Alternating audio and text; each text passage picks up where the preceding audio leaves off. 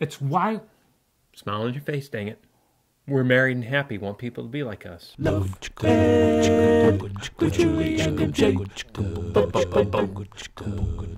According to Gallup, 86% of never married Americans ages 18 to 34 want to get married. In spite of this, over half of the adult population in America today is not married. And when you look at millennials specifically, the vast majority of them are not married, 73% to be exact. So, what this means is this nearly 9 out of 10 singles in their 20s who want to be married and conceivably could be married are not married despite their desires. 9 out of 10. So, why is that and why should it matter to you? That's what we're going to talk about today on Love Ed with Julie and MJ. Well, for starters, if you're in that group of never marrieds that would like to get married, you can take comfort in the fact that you are not alone. Not by a long shot. That's part of the problem.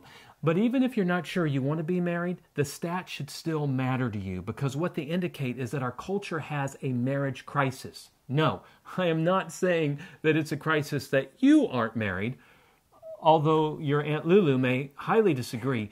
I'm saying that a culture where over half the adult population is not married is a crisis.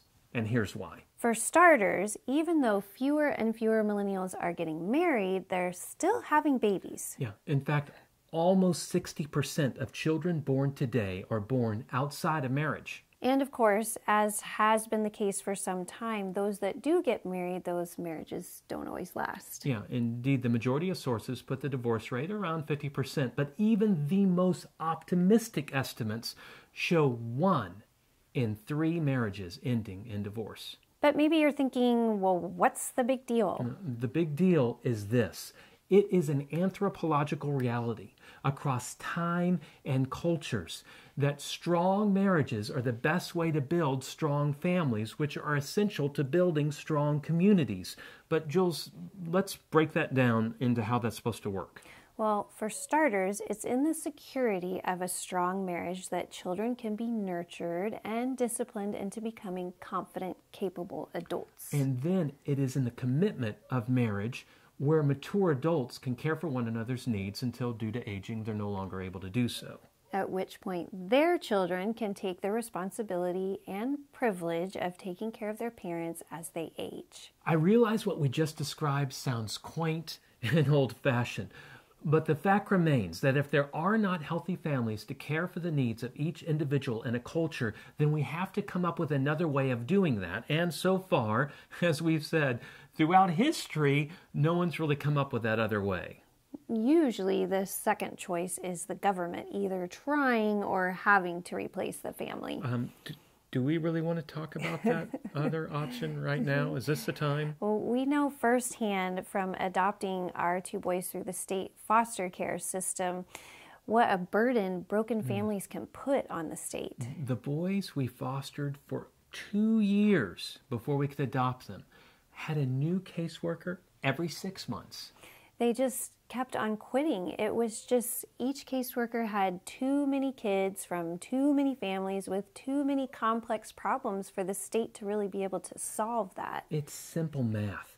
It's far easier for a mother and father to understand and care for the needs of their own children who they have known since birth than it is for a caseworker, no matter how well meaning and warm hearted, to care for 50 plus children they only know through a case file. So that's why the divorce epidemic should matter to you whether you're interested in getting married or not. In other words, marriage may not be for you or for someone you know and love, but it is most definitely for our culture. Or any culture that wants to thrive. Let's put some perspective on this marriage crisis thing. Imagine uh, we're talking about the economy. Okay. Imagine half of the adult population unemployed. That would be a bad economy. And the impact would be direct and immediate. But the fallout of the marriage crisis is not as direct as that. And it's not as immediate, but it is just as real and just as significant. And research shows time and time again the impact of divorce and out of wedlock childbirth on children specifically and on society as a whole. So, though half of all adults being single may not seem as alarming as half of all adults being unemployed, it is a crisis for our culture. And it's a crisis that Future Marriage University has been called to address. It's why we have the big, holy, audacious goal of changing the mind of our culture about the biblical meaning, purpose, and significance of marriage. And it's that desire that drives us to answer our call to empower the wise individual to prepare for their future marriage like a successful career. Which means intentionally, intelligently, and in advance. We want to help you and those you know and love to prepare for relational success when it counts. Which is before you fall in love. So you can be part of the answer to the marriage crisis in our culture. Of course, you can't go off and get married on your own. I, I realize it still takes two. No, but you can prepare for relational success on your own. Indeed, start with one of the Love Ed series, for which you will find a link at the end of this video. And invite a friend or a small group to join you. And then join us again next week for another episode of Love Ed with Julie and MJ. Love